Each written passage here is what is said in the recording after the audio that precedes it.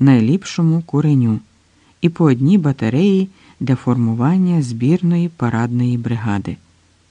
Командантом цієї почесної бригади призначається він, сотник Станімір, котрий особисто мусить зголоситися до корпусного штабу.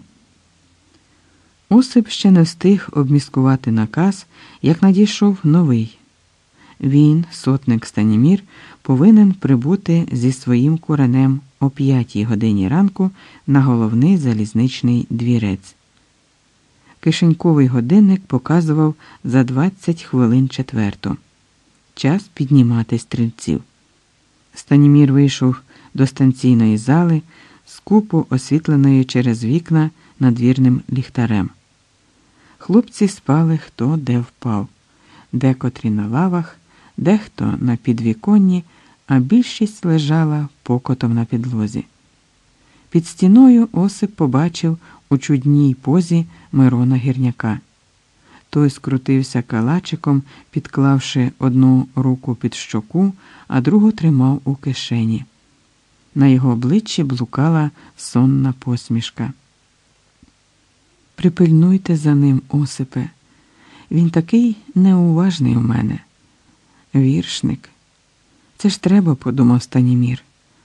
Волею провидіння парад припав на святу неділю. Цікаво, головний отаман парадуватиме на білому коні чи на автомобілі. Частина друга. Твої очі квіти темносині, на узбіччі радісних доріг.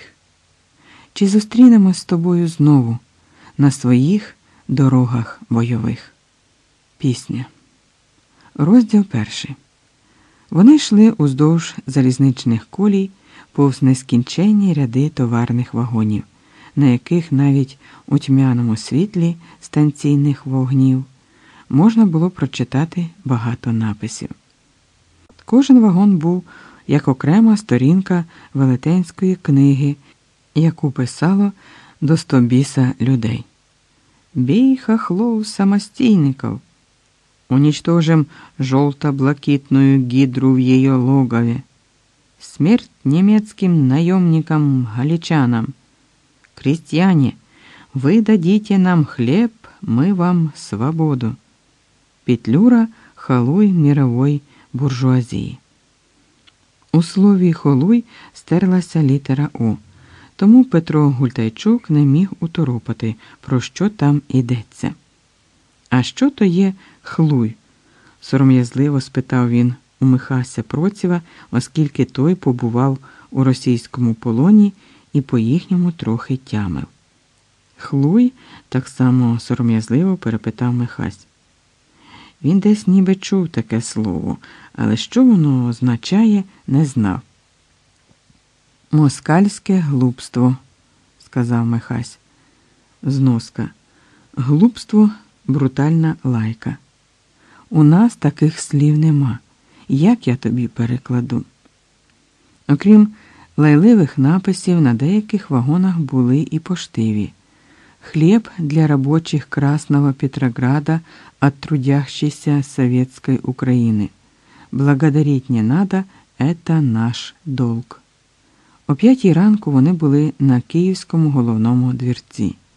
Незважаючи на досвітню годину, тут, на Майдані, ворушилося багато військового люду. Біля центрального входу стояло два легкових автомобілі з відкритим верхом. Штаб корпусу містився в пасажирському салоні першої кляси, де також було гамірно. Один заходив, другий виходив, двері не зачинялися. Станімір зголосився до команданта їхнього корпусу полковника Вольфа. Арнольд Вольф замінив на цій посаді Антона Кравса після того, як той очолив центральну армійську групу. Австрієць Вольф добре розумів українську, але говорив кепсько.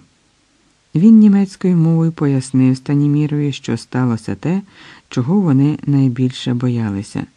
З лівого берега Дніпра до Києва підходять денікінці.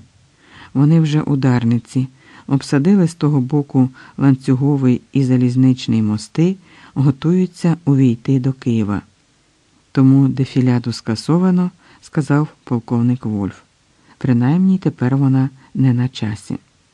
А як же? Хотів запитати Станімір, але полковник його випередив. Головний отаман відкликав свій наказ. Він уже знає. Зараз ми чекаємо на генерала Кравса.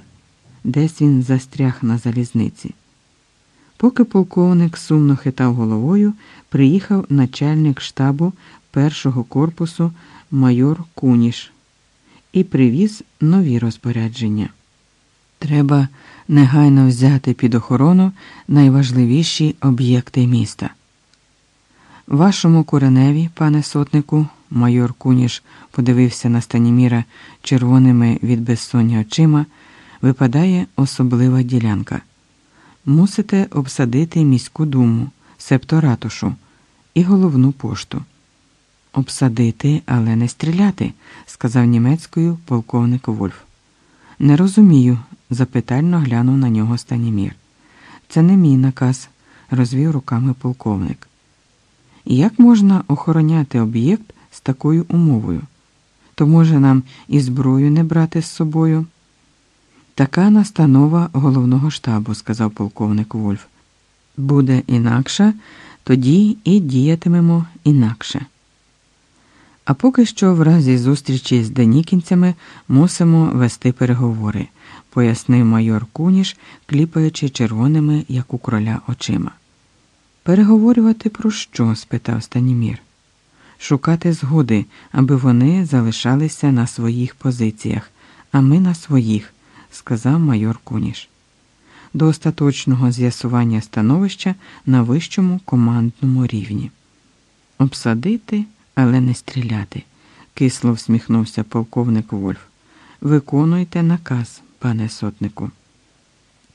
Станімір вийшов на двір, де вже розвиднялося. Над темними дахами міських будівель рожевіло край небо. З важким серцем він підкликав старшин, щоб пояснити становище. Знав, як це гнітюче вплине на стрільців. Але що зробиш?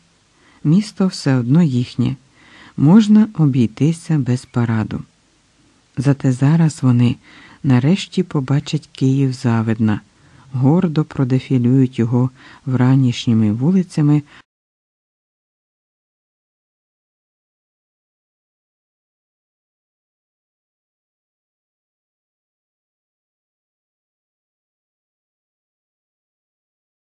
Уже всі знали, що на лівому березі денікінці. Стрільці тільки не розуміли, чому щинився такий алярм. Вони розбили червоних, розіб'ють так само і білих, адже у Києві поблизу нього 20 тисяч галицького війська. Почувся дзвін копит об бруківку.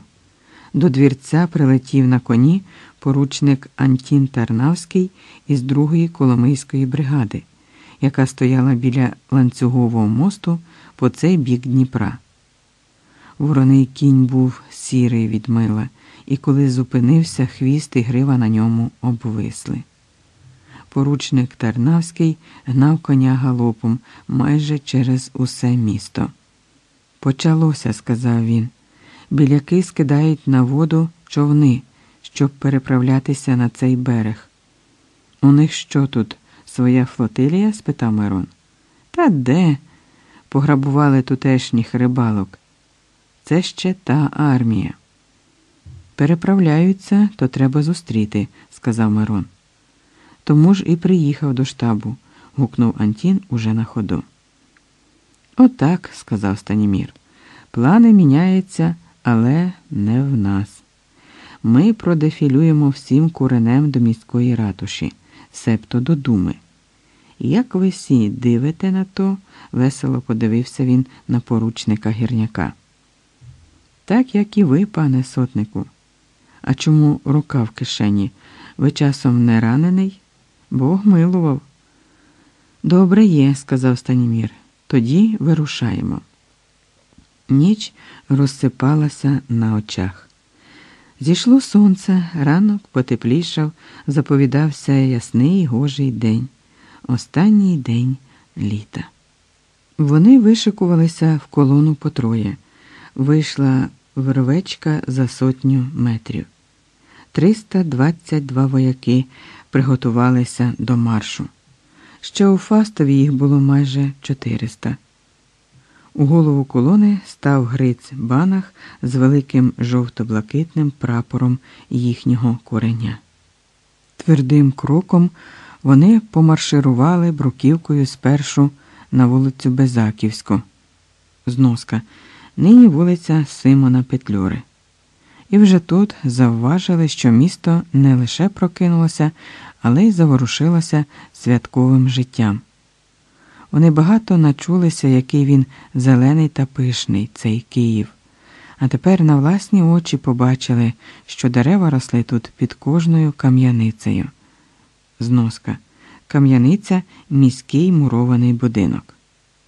Праворуч від них, за фігурною чавунною огорожею, тягнувся ботанічний сад, що дихав ранковою свіжістю, а по ліву руку стояли високі добротні кам'яниці. Усі балкони були у квітах, там розвівалися жовто-блакитні прапори, стояли святково вбрані люди, які, усміхаючись, привітно махали їм руками. Від того у стрільців твердішав крок, їхня розмірена хода ставала гучніша та злагодженіша. Попереду, на перехресті вулиці Безаківської і Бібівського бульвару, зноска, нині бульвар Тараса Шевченка. Між рядами гострих тополь стояв величний пам'ятник графу Олексію Бобринському, обличчям до головного двірця. І через те виходило так, наче старий граф теж вийшов їх зустрічати, ще й виліз на камінну колону, щоб краще бачити. Тут, на Бібіківському бульварі, і свята було ще більше. Кияни дивилися на них не лише з балконів та через відчинені вікна, а гуртами повибігали на вулицю з букетами квітів і вигуками Слава галичанам! Слава нашим визволителям!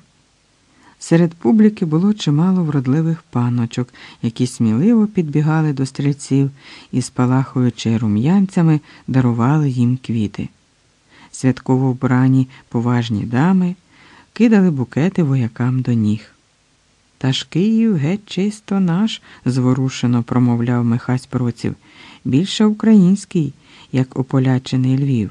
Ну? Господи, як я сітішу, раз у раз повторював Петро Гультайчук. Хлопці, якби ви знали, як я сітішу. Ну ну, не плач, казав йому Михась Проців, і в самого тремтіли губи. Не плач. Видиш, кіко кобіт на тебе сідивить. То не я, витирав рукавом очі Петро, то радість плаче. Що далі вони марширували, то все більше велелюддя збиралося довкола. Назустріч виходили нові юрби киян, а ті, що привітали їх раніше, ішли по обидва боки колони чи поспішали услід за нею. Бігла дітвора, шкутильгали старі, граційно пливли панянки, підбираючи краї довгих суконь, щоб не зашпортатись. Бадьорим кроком ішли юнаки та старші чоловіки. Багато з них у вишиванках, козацьких киреях, жупанах, сардаках, у фраках, сурдутах, партикулярних костюмах і формених службових мундирах, у чорних і білих капелюхах, які чоловіки час від часу знімали і радісно вимахували ними над головою. У кожного в руках були як не квіти, то жовто-блакитна хоруговка або стрічка. Один вусатий дідусь ніс на древку великий портрет Шевченка, а хлопчина у формі гімназиста високо над головою тримав Тарасів Кобзар і томик Івана Франка.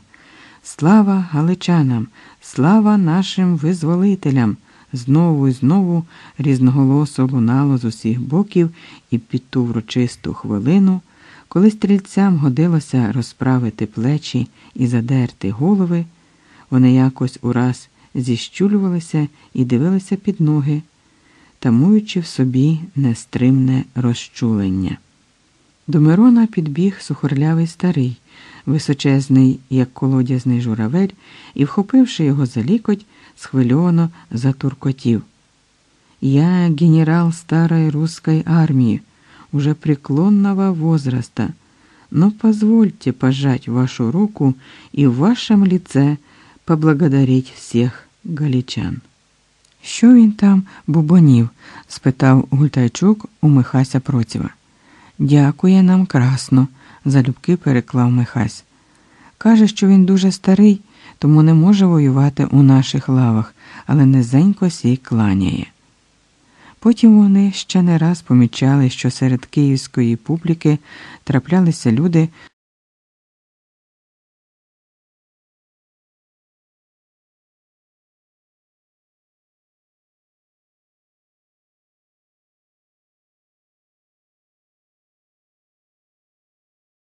Галичанам, котрі вже доста навоювалися з москалем, такий фасон був дивним, але вони намагалися сприймати його поблажливо і з розумінням, чого тільки не побачиш на цьому світі. До величальних привітань біля Володимирського собору долучилися церковні дзвони. Вояки, всі як один, подивилися на храм святого Володимира благоговійними очима і почали хреститися. Петро Гультайчук не витримав і, порушуючи розміреність карбованої стрілецької ходи, вибіг за брук на узбіччя, укляк на коліна і тричі, вдаривши чолом, поцілував землю. Приєднавшись до колони, він подивився на Мирона очима повними сліз. Вибачайте, пане поручнику, один Бог знає, як я сі тішу. Ну, сказав Михась Проців, тільки не плач. Колона поволі завертала на Велику Володимирську, де по праву руку червоніли стіни університету, того таки святого Володимира. Мирон тут був у січні минулого року, коли маніфестації проводили вже студенти, бо сотні тисяч військового люду, які місяцями мітингували в Києві, стомилися і роз'їхалися хто куди, а банда Муравйова уже була біля воріт. Щойно вони повернули ліворуч на Володимирську, як побачили світлу будівлю педагогічного музею, в якому колись засідала Центральна Рада, а потім і директорія Української Народної Республіки. Зараз тут на фасаді, майже під самим скляним куполом, висів величезний портрет головного отамана Симона Петлюри, який дивився на них, мов живий, і хай там що, а вони таки парадували перед головним отаманом. І може тому, що стрільці бачили в руках гімназиста Томик Івана Франка, а може через те, що таки вздріли самого Петлюру і настала пора, вони раптом розправили плечі, підняли голови і, твердо карбуючи крок по бруківці князівської вулиці, на всі свої 322 голоси заспівали. Не пора, не пора, не пора, москалеві і ляхові служить.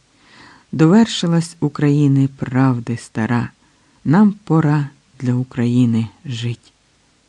Цю сувору врочисту пісню дехто підхопив у натовпі. На її закличний голос почало збігатися ще більше киян, які річками стікалися до людського моря з довколишніх вулиць і вуличок Фундукліївської, Ярославового валу, Хрещатика, Терещенківської, театральної, прорізної. Врешті-решт, на перехресті Володимирської та Фундуклеївської стовпилося стільки люду, що курінь не зміг рухатися далі. Однак вояки марширували на місці, бо їхній крок був у єдиному ритмі з піснею. Розступіться, та розступіться ж нарешті. Що ви за народ такий? Дайте пройти героям до Софіївського майдану. гукали з натовпу свідоміші громадяни, котрі знали, що найбільші національні врочистості відбуваються біля Софії. Колона поволі рушила далі. Вони поминули ошатний театр, на фасаді якого висів портрет Тараса Шевченка, заклечений зелом та айстрами. А трохи вище також маяв жовто-блакитний прапор. Біля золотих воріт стрільці завершили пісню словами, що стала їхньою клятвою. Бо пора се велика я єсть, у завзятій важкій боротьбі ми поляжем, щоб волю і славу і честь рідний краю здобути тобі. Слава, слава, слава! гойднулося над збудженим натовпом, а попереду вже був Софійський майдан, де біля пам'ятника гетьманові Богдану Хмельницькому зовсім несподівано для них стояв у повному складі штаб їхньої восьмої самбірської бригади на чолі з отаманом Гофманом. Ліворуч злітав у небо Софійський собор, далі попереду сяяв Михайлівський Золотоверхий. Вояки ревно хрестилися до золотих бань і церковних хрестів. Уже не в одного Петра Гультайчука волово блищали очі, гострі борлаки на худих шиях стрільців ходили вгору вниз, а розквітчений натовп підсипав жару. Слава Україні! Слава Петлюрі, слава галичанам! Отаман Гофман стояв під бреластим постаментом гетьмана і здалеку енергійним жестом показав сотникові станіміру, аби той зі своїм куренем продефілював перед штабом бригади, а заодно й перед тим таки гетьманом, що разом із конем нависав у Гофмана над головою. Станімір так і зробив.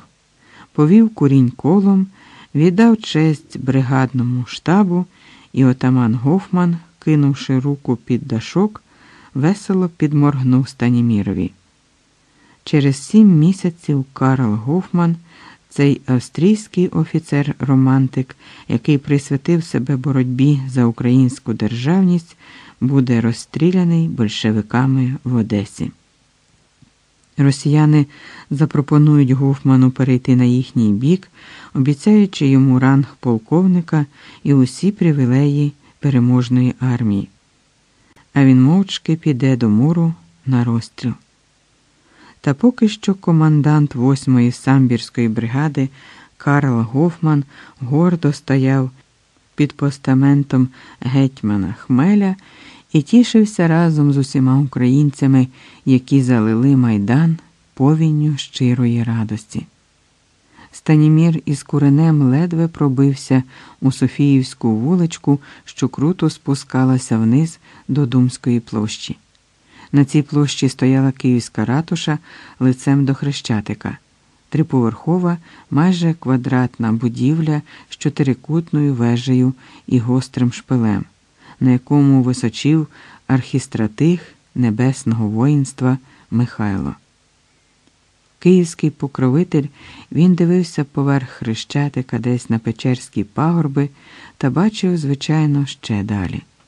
Бачив, як по той бік Дніпра скупчується нова орда, відбирає у тамтешніх рибалок великі човни і пускає їх на воду. Довкола міської думи теж вирувало мурав.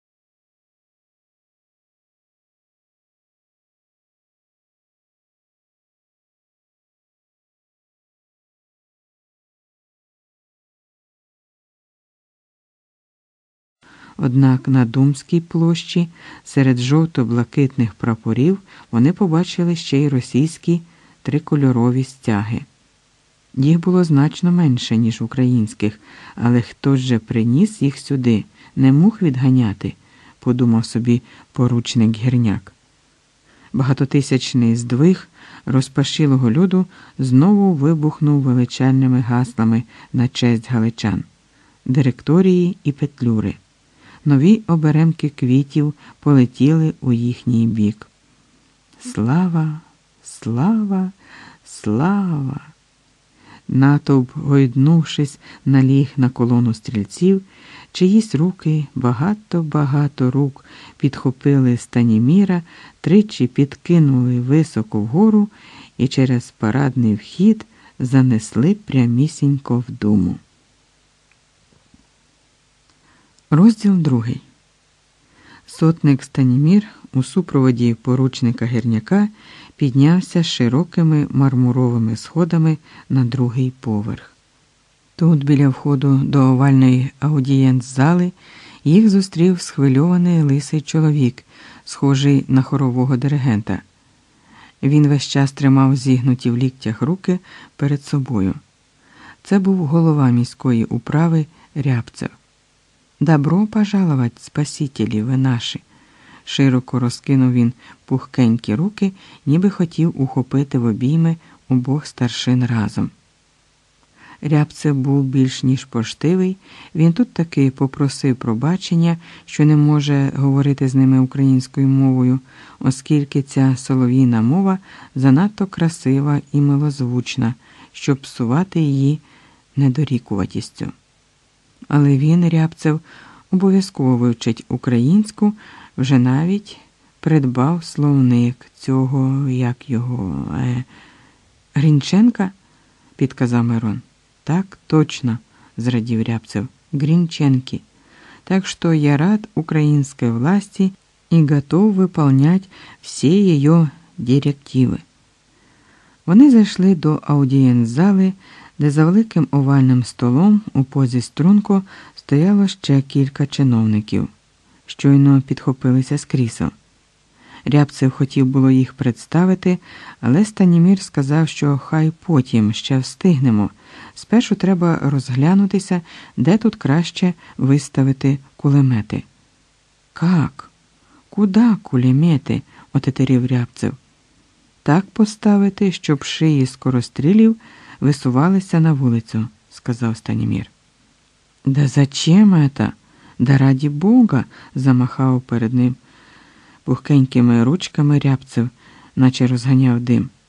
Ведь наши в городе Савдепия дала дёру, народ празднует, а тут опять двадцять п'ять. Ніяких не двадцять п'ять, сказав Станімір, усього вісім кулеметів.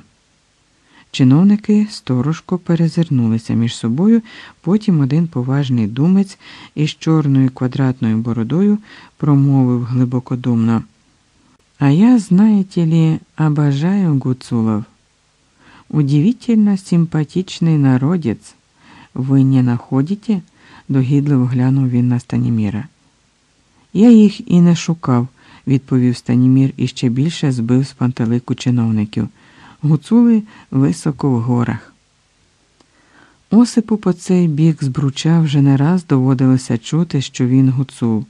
Це звично ближче, ніж австріяка, але теж пальцем у небо.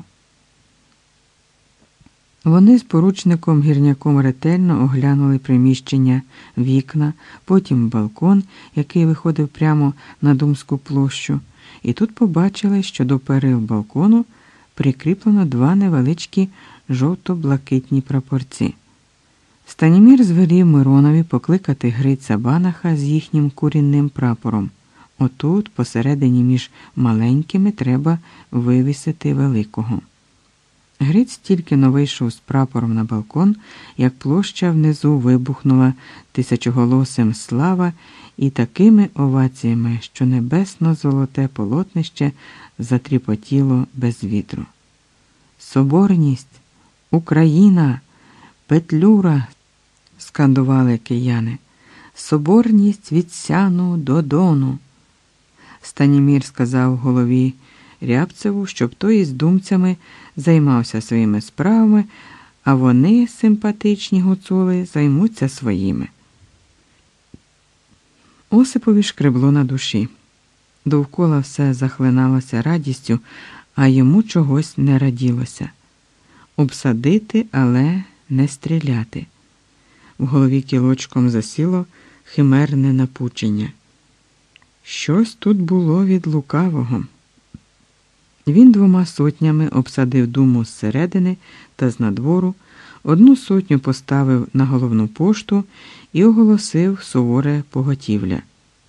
До Думської площі посунуло ще більше народу, серед натовпу вешталося чимало озброєних типів, провокаторів, військових у чужих одностроях, на площі більшало російських трикольорових прапорів. На хрещатику цілими гуртами звільно походжали підозрілі бойовики у пом'ятих червоних погонах з тоненького краму. Дивувало й те, що юрба так само захоплено вітала цих приплентачів, називаючи їх визволителями. Запахло смаленим. Станімір задзвонив із думи до корпусного штабу і попросив дозволу роззброїти чужих вояків, але почув пояснення, від якого заскриготав зубами. Не можна нікого роззброювати, бо то можуть бути наші повстанці а денікінців узагалі не треба чіпати, тільки переговорювати, обсадити, але не стріляти. Станімір був у розпачі. Ближче до полудня, незважаючи на вуличний гамір, він почув дзвінкий стукіт копит об бруківку. Від купецького саду, зноска, нині міський сад біля філармонії, до Хрещатика промчав загін терських козаків у чорних кудлатих шапках. Юрба гучними вигуками віддала і їм пошанівок. Станімір наказав Миронові піднятися вгору на Печерськ, роздивитися, що діється там. На Печерську мав стояти курінь Данила Бізанца, але де саме вони не знали. Мирон пішов у бік інститутської вулиці, яка спиналася на Печерські пагорби. Ще внизу, на розі будинку міської біржі, він побачив гурт озброєних азіатів, якісь чуваші чи узбе.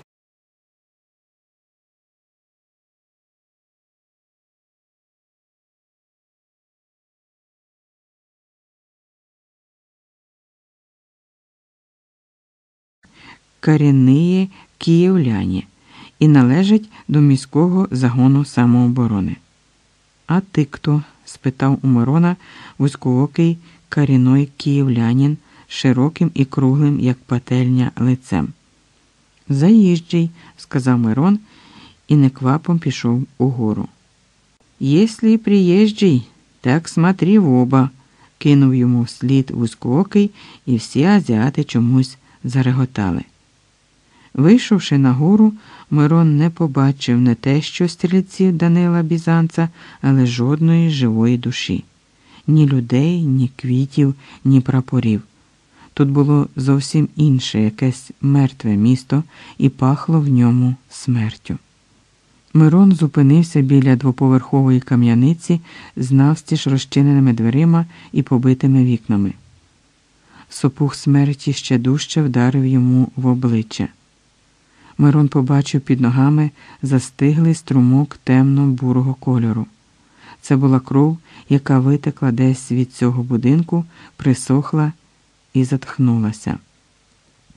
Через побиті шиби і розчахнуті вікна було видно перекинуті меблі, розкидані папери, потрощений посуд. Хтось тут, утікаючи, зганяв злість на всьому, що підверталось під руку. Крізь розчинені парадні двері Мирон побачив ще один наскрізний вихід з будинку, який вів на подвір'я. Він перейшов темний коридор і потрапив до саду з великою клумбою і зруйнованим водограєм. Далі, за квітником і кущами руш та жасмину, Мирон побачив біля стайні кубку принишклих людей.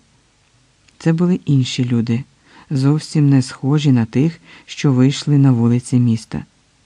Більшість була в чорному, одні тихо молилися самими губами, другі стояли в жалобному мовчанні, зціпивши на грудях руки, треті щось відкопували лопатами. Широкою доріжкою, посипаною жовтим піском, Мирон підійшов до гурту. На нього ніхто не звернув уваги. Ці люди були відречені від світу, і Мирон усе зрозумів, коли заглянув до стайні. Бетонна підлога була вся в крові, людському мозку і волоссі. Посередині стайні зяяв темний отвір, до якого з попід стін сходилися видовбані в бетоні рівчаки. Вони теж були темно руді від засохлої крові. Сивий сухенький дідусь, який обіруч притискав до грудей зіжмаканого капелюха, не дивлячись на Мирона, пошепки мовив Катівня чека. Там он пили, гуляли, а тут Мирон підвів очі і побачив іще страшніше. Там, де працювали люди з лопатами уздовж садової доріжки, лежали понівечені людські тіла, щойно викопані з-під жовтого піску, розтрощені черепи, порожні очниці, відрізані вуха, носи, жінки з вирваним до крові волоссям. Він перехрестився і тихо пішов. Витримати таке могли тільки люди, які шукали тут рідних. Ступивши на густо посипану жовтим піском доріжку, Мирон раптом відчув, як глибоко грузнуть ноги, і сахнувся у бік. Тут теж, тут теж закопані люди. Їх навіть не закопали, а на швидку загребли піском, замітаючи криваві сліди. Тепер зрозумілою була та нестримна, часом сліпа радість киян, з якою вони зустрічали і своїх, і чужих. Вони б кинулися в обійми самого диявола, якби той визволив їх від большевицького нашестя. З висоти Печерського пагорба Мирон бачив, як на долоні київську ратушу та збурений майдан перед нею.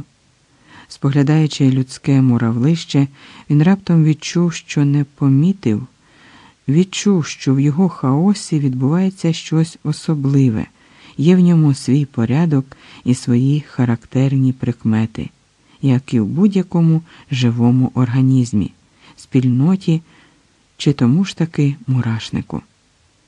І серед тих особливих прикмет він побачив, що людське стоковисько розділилося на двоє.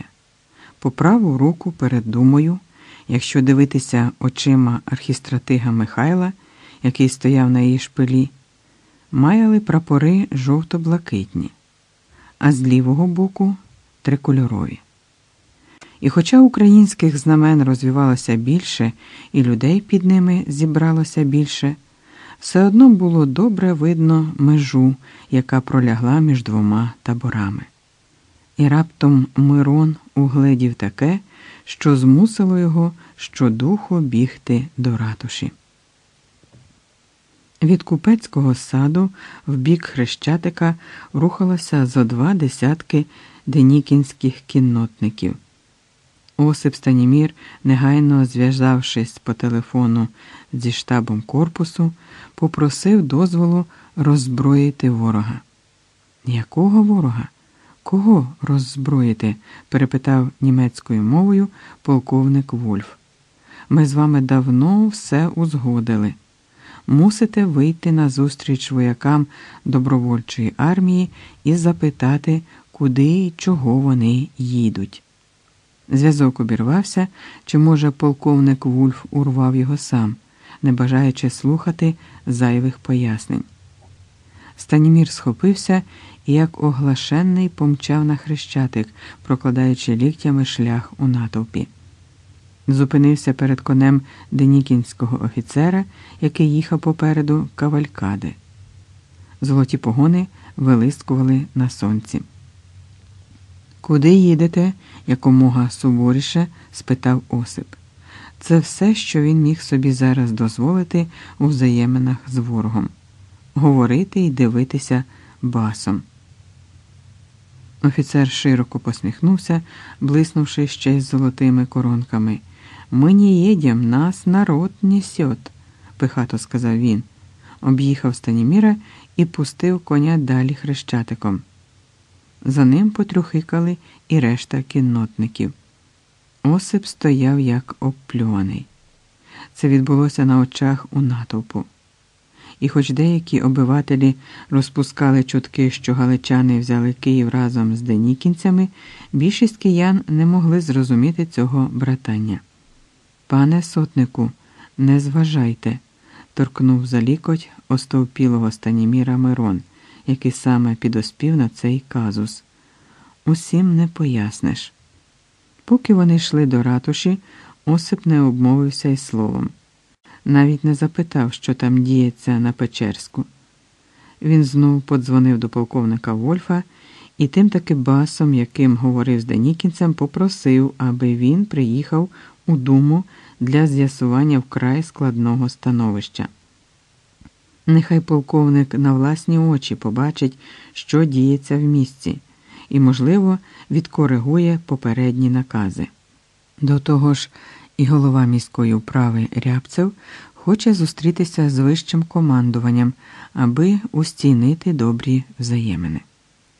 Полковник Вольф сказав, що вже виїжджає. Раз у раз надходили тривожні звідомлення від інших куренів і бригад.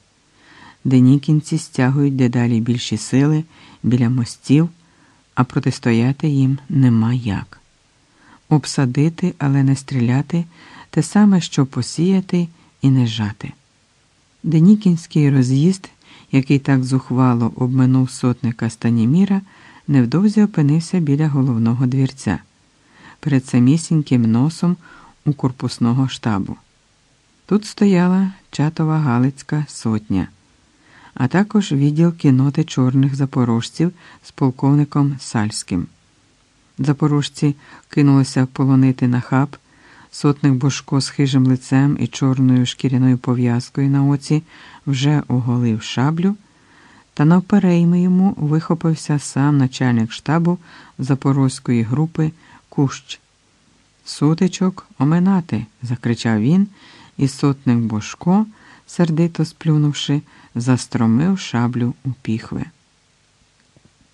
Денікінці ще трохи постояли, показуючи всім своїм виглядом, що вони тут нікого не бояться, і на рисях подалися в бік Безаківської.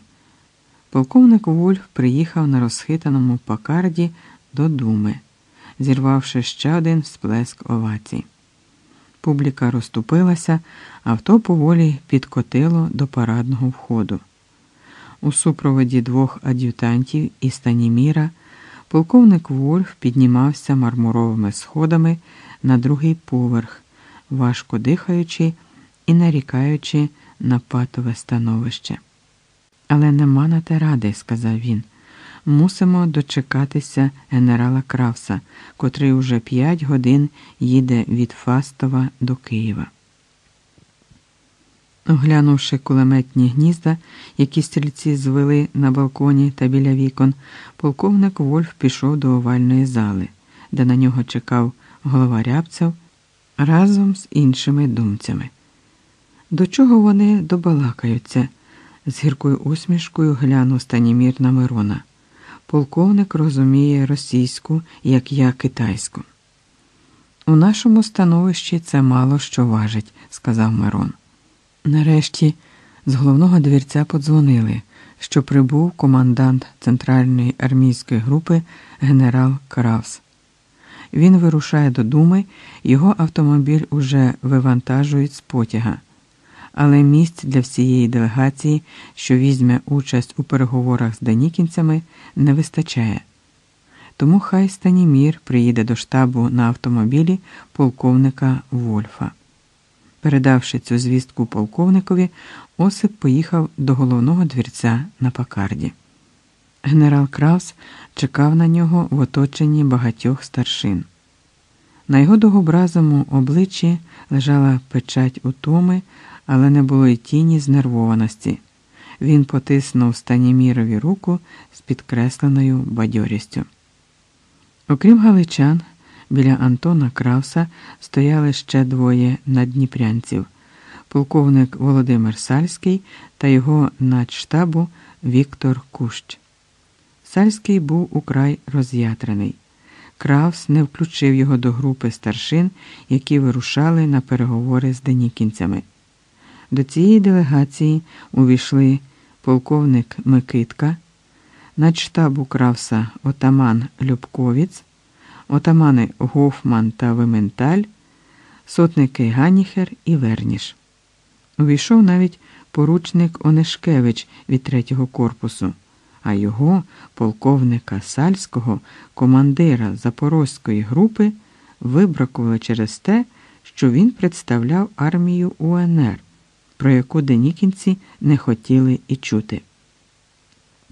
То це нам вирішувати, чи никінцям зноска. Українці часто називали генерала Денікіна Никоном, а денікінців никінцями. Сердито спитав полковник Сальський, і його чорна борода наїжачилася, а вуса, які гостряками стриміли вгору, ворухнулися, як два багнети. Інакше ми зірвемо переговори, сказав Кравс. Ви ж знаєте, пане полковнику, моє добре ставлення до вас. То, може, ви нас, запорожців, і на хрещатик не пустите? з викликом спитав Сальський. Це вже буде кривда не мені, а всім козакам.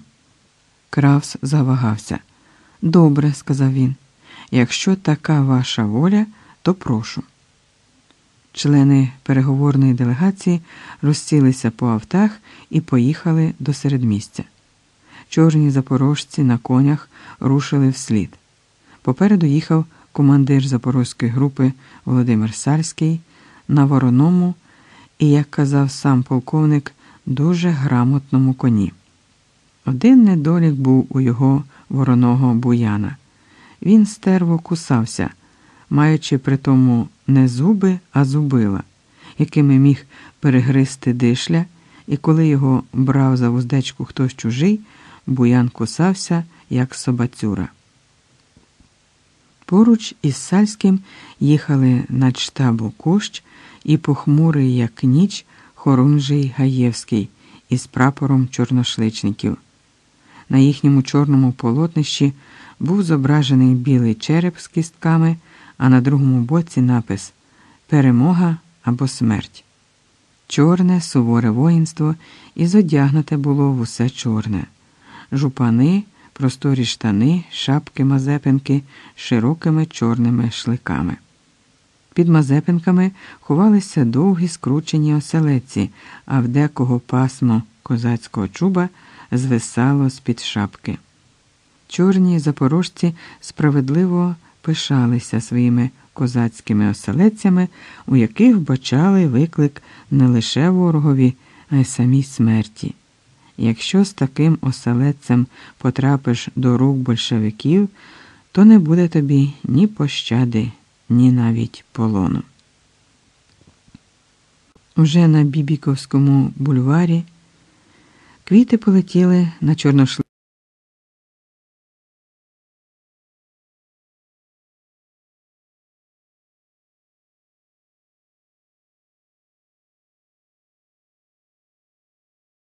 7-ма Запорозька дивізія полковника Осмоловського, яка підтягувалася вулицею Великою Васильківською від Деміївки. Козаки позбивали Мазепинки на потилицю, дивуючись на розбурхане місто. Вони такого ще не бачили. Автомобілі Антона Кравса та його супроводу поволі посувалися до Хрещатика під овації публіки. Їхали вони бруком, встеленим килимом квітів. Після всіх неприємних звісток і психічного виснаження генерал відчув різкий приплив бадьорості. Хай там що, а з таким народом можна боротися до кінця. На хрещатику рух уповільнився, зате можна було роздивитися на цих дивовижних людей зблизька, побачити їхні щасливі обличчя, збуджені очі, що горіли вогнем нестримної радості.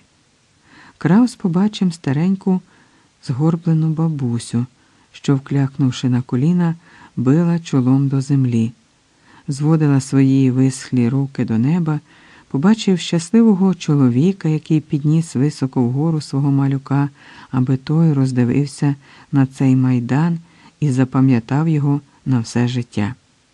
Якийсь добродій у вишиванці дарував усім охочим жовто-блакитні хоруговки, напрочуд вродлива дама у сніжно-білій сукні і такому ж сліпучо білому капелюшку роздавала цукерки. Ще хтось розливав усім спраглим зельтерську воду. Худенький хлопчина, який біля головної пошти чистив перехожим взуття, вигукував на весь майдан Ставте ноги на скриньку, шмарую задурно. А коли розчулені люди почали кидати йому гроші без чищення, хлопчина голосно попередив Беру тільки гривнями, рублів і керенок не приймаю. Походжав у юрбі цікавенький скоморох із червоним носом бульбою, одяг якого був у трьох кольорах білий гостроверхий ковпак на голові, каптан синій, а штани кумачеві. І хто мав кебету, відразу здогадувався, що це ходячий московський прапор, барви якого цар Олексій Михайлович позичив у щедрих голландців тільки переставив їх місцями на московському полотнищі. Зверху біле, посередині синє, внизу червоне. Як небудь, аби по-своєму, перетасував Олексій Михайлович кольори, в які тепер зодягнувся скоморох. Але він цей мартопляс мав жалюгідний вигляд порівняно з колоритним гуцулом, котрий став улюбленцем майдану. Гуцул був у красиво розшитому кептарі, полотняних ногавицях, у новеньких личаках із задертими носами. На голові мав кресаню з великою жовто-блакитною пір'їною, якогось невідомого заморського птаха. Під пахвою у нього був томик Франка, в зубах коротенька файка, на плечі сиділа стара обстріпана ворона, надута, наче їй чимось не вгодили. В обох руках гуцул тримав по револьверу, можливо, бутафорному, бо крутив їх, надівши скобками на вказівні пальці так швидко, що вони мерехтіли, наче млинки. Не виймаючи з рота файку, руки ж бо зайняті, гуцул наспівував чудернацьку коломийку. Не питайте в москалика, биться чи мириться, три струни на балалайці а на кобзі тридцять. Як тільки гуцул розспівувався, як сонна надута ворона, на його плечі враз оживала, розправляла обстріпані крила і підкрякувала своєму господареві. Кря три, тридцять. Вражені люди аплодували. Гуцул на всі боки підморгував.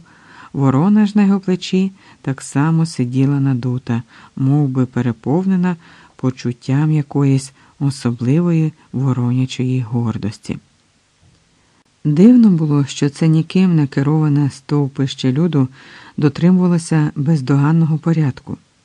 Ніхто нікого не штовхав, не наступав на ноги, не хекав у потилицю, ніби всім керував якийсь вищий інстинкт що прокидається в людях у час великої спільної радості і надії.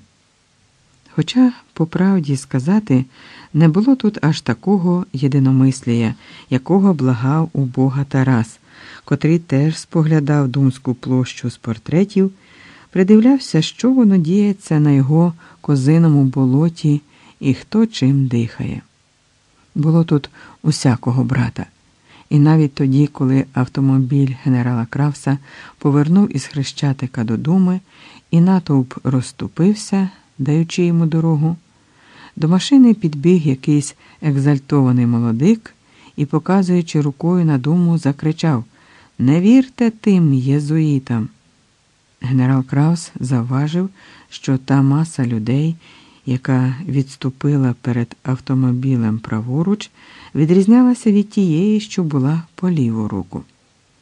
Праворуч над людськими головами здіймалися російські трикольорові прапори, і не чулося звідти ніяких овацій, а ліва частина площі цвіла жовто-блакитними стягами і здригалася від тисячоголосої осанни. І тут два табори, подумав Кравс, і напружився від раптової тиші, що впала на площу. Він побачив, що всі повернули голови до вулиці Інститутської. Там, на її крутосхилі, у скісних променях передвечірнього сонця з'явилося видове, яке найбільше вразило поручника гірняка. З Печерського пагорба, де ще недавно було безлюдно і порожньо, з мертвого міста до Хрещатика рухалася строката, розцяцькована процесія. Попереду, на низенькому, схожому на віслюка коні, їхав старий російський генерал, груди якого були так густо обвішані орденами, наче він зодягнув кольчугу. У правій руці генерал тримав невеличкого російського прапора, який начебто і не личив поважному воєначальнику, він тримав його, наче свічку. Услід за генералом пішки ступали чотири священики в золотих ризах. Один із них ніс великого позолоченого хреста, а троє високо здіймали багряні церковні корогви.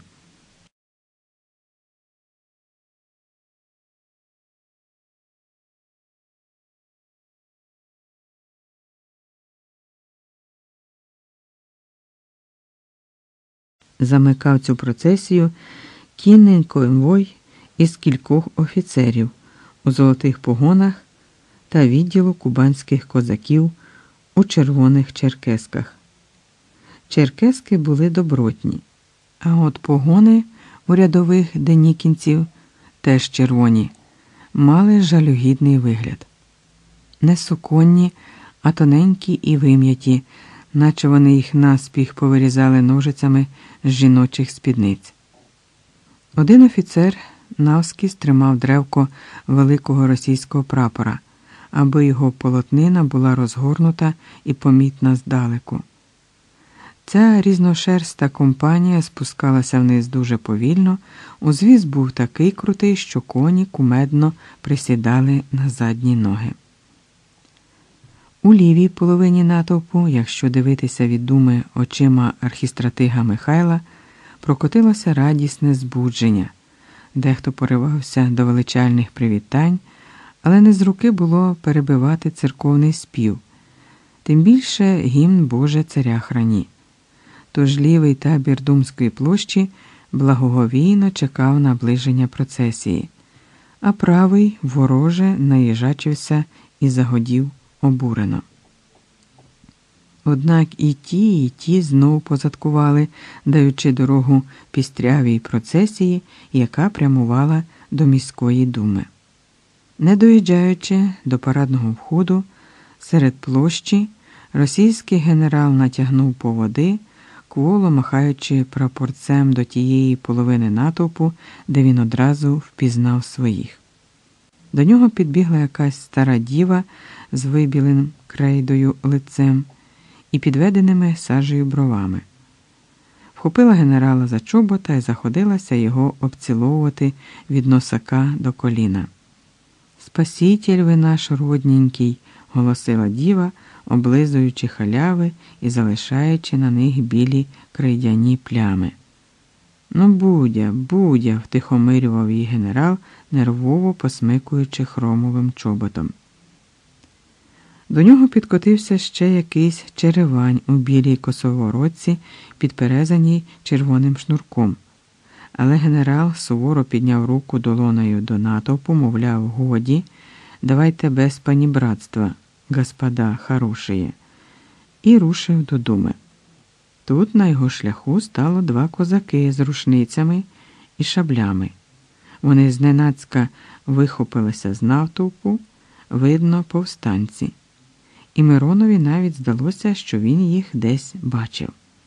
Далі прохід заборонено, сказав козарлюга із засмаленим, як горщик, обличчям. Розвертаємо дишля.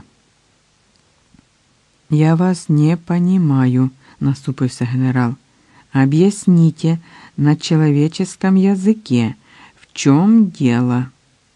Тут управа української столиці, пояснив засмалений.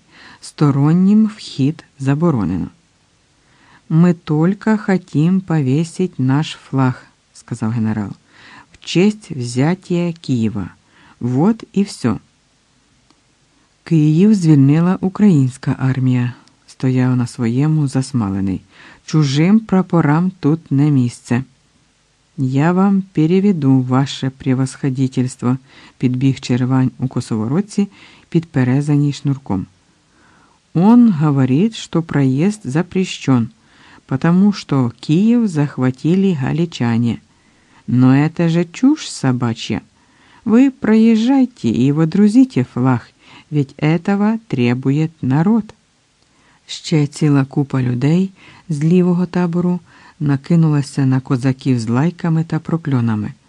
Мовляв, як ви, сіра голото, розмовляєте з генералом? Чи вам повилазило хто перед вами? Народ вимагає пропустити його, а ви, хохли необтесані, вперлися, як барани, і псуєте людям праздник. Стара діва з розмазаною на лиці крейдою штурхала гострими кулаками засмаглого козака під ребра, щипала його, називала чортов гуцул, не відрізняючи надніпрянця від галичанина. Одна половина площі скандувала Геть москалів, друга репетувала Руки вон, маючи на увазі облогу генерала. По правий бік заспівали ще не вмерла Україна, а по лівий долучилися до церковного хору, який саме дотягував перводержавною Русь православною Боже храні. Площа намагнітилася і розпеклася до краю. Багнети наїжачилися на крісах стрільців, що охороняли думу, крізь замасковані на балконі отвори висунулися шиї кулеметів. І невідомо чим би те закінчилося, якби генерал Кравс не побачив у цьому становищі вигідний шанс розпочати переговори з денікінцями. Він повернувся від парадного входу назад, туди, де козаки перепинили російського генерала з усією його процесією, і чемно попросив, не наказав, а попросив засмаленого та його похмурого товариша, аби вони пропустили генерала з його ад'ютантами до думи. Засмалений із товаришем, скриготнувши зубами, відступили у бік. Обидва генерали взаємно представилися і були приємно здивовані. У їхніх жилах текла одна німецька кров. Перед Антоном Кравсом сидів на низькорослому коні барон Максиміліан Штакельберг, командир авангардної дивізії Денікінських військ генерала Бредова. Можна було поговорити німецькою, але при такому народі не випадало. Краус жестом припросив Штакельберга спішитися і пройти до думи. Російський генерал обернувся до свого конвою, кубанці швиденько позіскакували з коней і обережно садили Штакельберга з його низького віслюкуватого жеребчика. Хор зажував останні слова імперського гімну, попи опустили корогви держаками на землю. Батюшка, який ніс Золотого Христа, поклав його на плече, ніби збирався йти на Голгофу. До думи генерал Штакельберг зайшов із двома ад'ютантами. Назустріч сходами вже дріботів голова міської управи рябцев, диригуючи сам собі пухкенькими ручками. Ну, наконец-то, наконец-то, встретились два союзники победителя. Милості просим. Мимохідь привітав.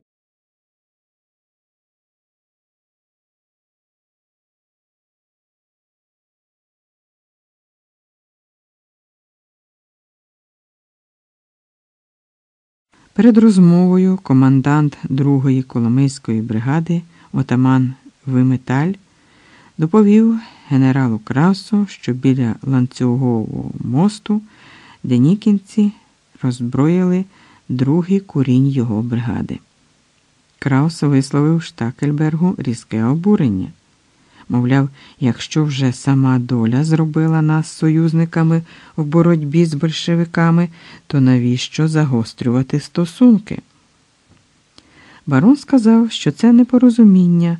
Помилку буде виправлено, але натомість і в нього є невеличке прохання. Для заспокоєння російської публіки треба на домі вивісити триколірний прапор. Українські старшини перезирнулися. Барон Штакельберг наголосив, що цей акт не матиме жодного політичного значення. Йдеться всього навсього про жест обопільної поваги між союзниками. Після такого акту доброї волі генерал Краус зможе спокійно їхати на Печерськ до гімназії, де розмістився штаб генерала Бредова, і продовжувати переговори на вищому рівні. Тим часом денікінські війська залишатимуться на своїх позиціях до встановлення демаркаційної лінії між добровольчою і Галицькою арміями. Тож нехай хтось із ваших, сказав барон Штакельберг, спуститься вниз і візьме в нашого офіцера великий триколор. Така позиція Крауса задовольняла. Він попросив, щоб покликали сотника Станіміра, котрий пильнував за порядком на площі, і наказав йому занести в дому російський прапор. Далі вийшла комедія.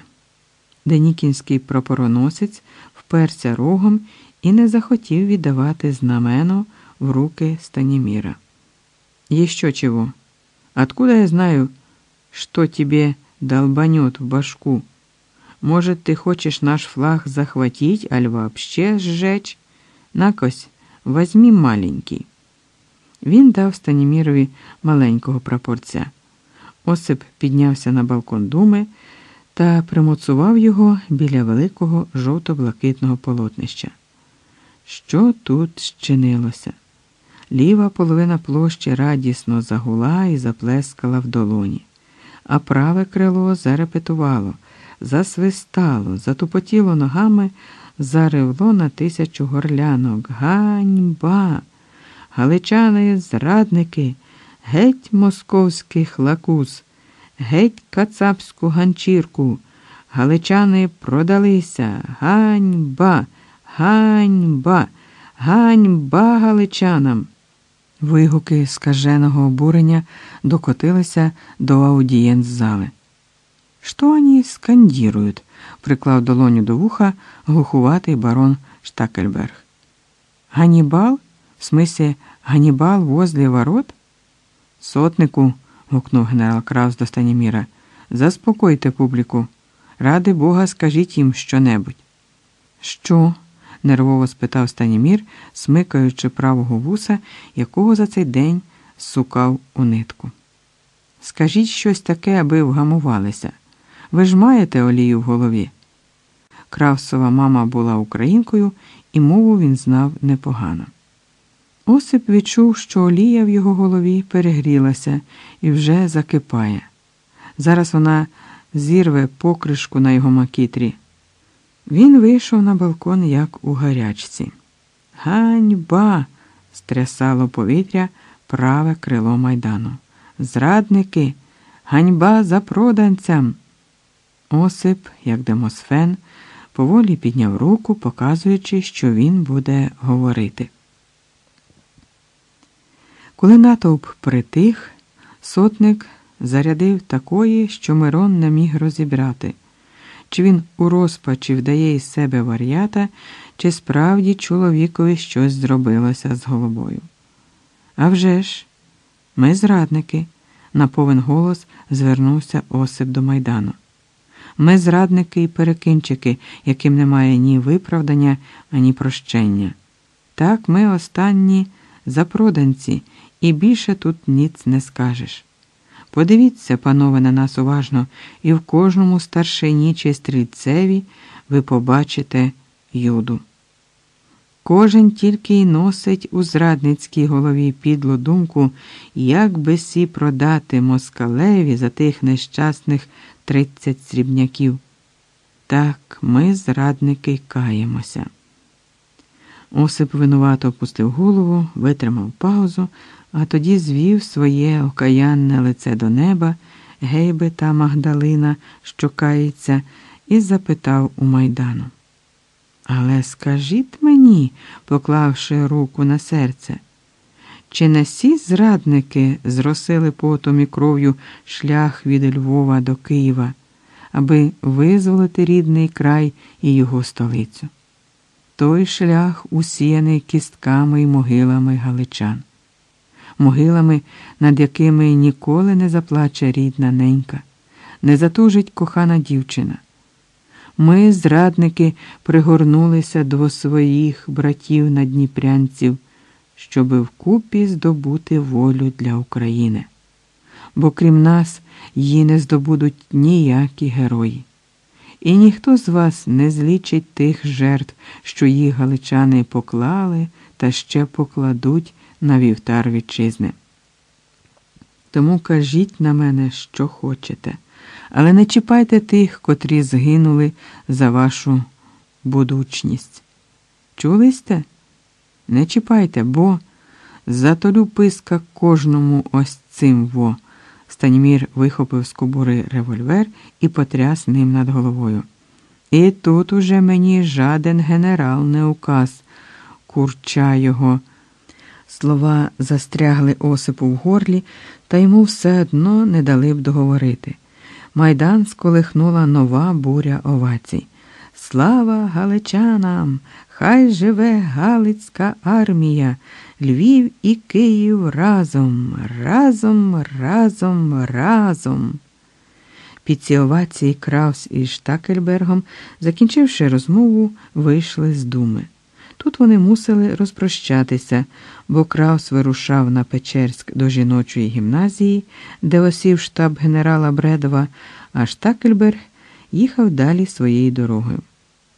Барон помітно повеселішав і, по-дружньому, взявши кравса під лікоть, на прощання шепнув йому рідною мовою.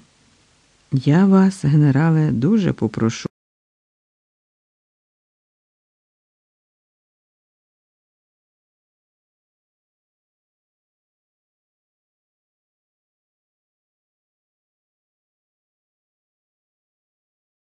Як раптом кинувши оком на Денікінський конвой, отетерів. Він угледів великий триколор, з яким досі носився, як дурені ступою їхній прапороносець. Штакельберг дрібно закліпав очима, глянув на балкон і зрозумів, що його волю зневажили. Старий розсердився, аж йому затремтіли руки. Він швидко, не по-старечому, підійшов до офіцера і вихопив у нього прапор. Кравс не заглядівся, як барон ускочив у думу і тут таки вигулькнув на балконі.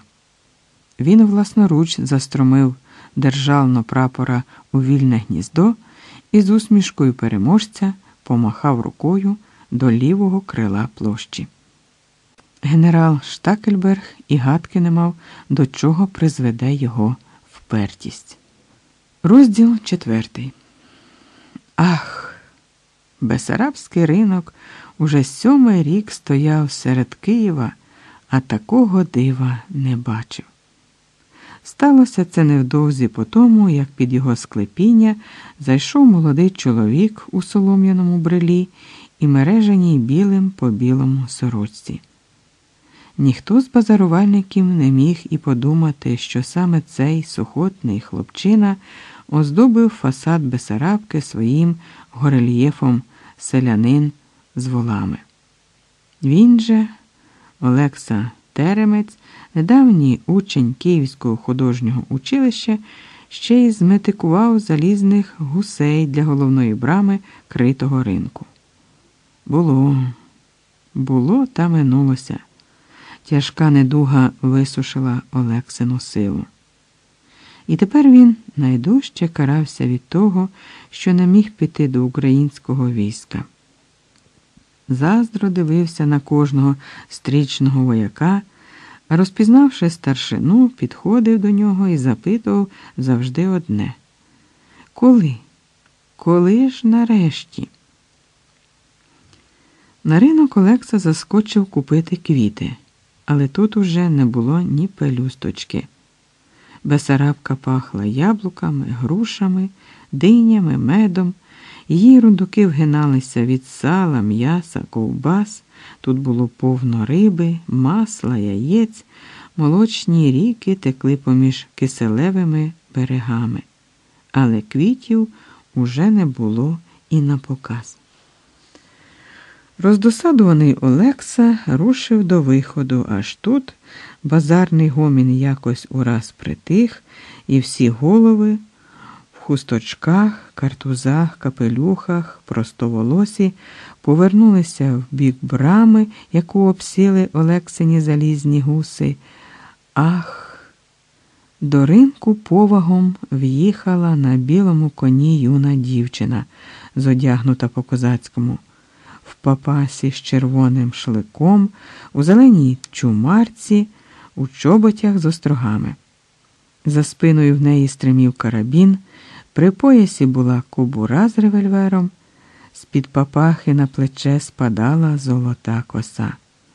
Диво козачку супроводжували три гордовиті верхівці, які згори вниз поглядали на базарувальників на загромаджені всілякими добром рундуки. Дівчина теж приглядалася до людей і товару. Один сільський дядько, якому ледь не влетіла до рота муха, раптом зняв з голови бриля, низько вклонився і гукнув так голосно, що його почула вся Бесарабка. Здорові були, пані Марусю. І ви будьте здорові з неділею, привіталася дівчина. Маруся, Руся, ся, прошелестіло рядами, і всі чоловіки зняли з горів шапки, картузи, капелюхи. Олекса Теремець, зібгавши в руці бриля, підійшов ближче до вершниці і запитав тремтячим від хвилювання голосом. Коли ж, коли, панно Марусю? Що? Вона так щиро до нього усміхнулася, що Олексі забило подих. Він зайшовся сухим, здавленим кашлем, притулив до вуст хусточку, і з його грудей виривалося тільки одне слово. Коли? Дівчина ввічливо чекала, поки він зможе говорити. І Олекса Теремець нарешті запитав. Коли ж засяє українська булава? Вона дивилася на нього з тією ж теплою усмішкою. Тоді, сказала поштиво, як ми піднімемо її до сонця. Дівчина з козаками так само повагом виїхала з ринку. Олекса Теремець вибіг за ними услід. Навпроти Бесарабки стояла ще сотня вершників. Олекса думав, що вони поїдуть хрещатиком до міської управи. Та ні, дівчина повела козаків бібіківським бульваром угору. Олекса проводжав їх поглядом угору, угору, угору, поки вершники не щезли з очей. Коли ж? Коли? Розділ п'ятий. Барон Штакельберг зі своїм конвоєм потяг угору по інститутській. Автомобіль генерала Крауса, поволі просуваючись між юрбою, завернув через царську площу на вулицю Олександрівську. Зноска нині Європейська площа. Олександрівська вулиця тепер називається ім'ям Михайла Грушевського. До генерала Бредова з Кравсом поїхали тільки його начальник штабу Людвіг Любковіць та сотник Верніш. Саме у цей час до Думської площі доходили чорні запорожці. Попереду, високо тримаючи голову, їхав на вороному і дуже грамотному коні полковник Сальський, вуса якого теж стриміли двома багнетами високо вгору. Поруч звільно похитувався у сідлі похмурий, як ніч, хорунжий Гаєвський. Над ним розвівався чорний прапор із черепом і кістками. Вони ще не доїхали до площі, як назустріч вибігла купа людей, котрі щинили несосвітенний гвалт. Розмахуючи руками і перебиваючи одне одного, вони кричали, що над містом вчинено наругу, що зайде знов почувається в Києві, як у себе вдома. Ви лишень подивіться, як вони розперезалися, і до чого дійшло. Почепили над Києвом біло-синьо-червоний прапор Російської імперії. Розгніваний над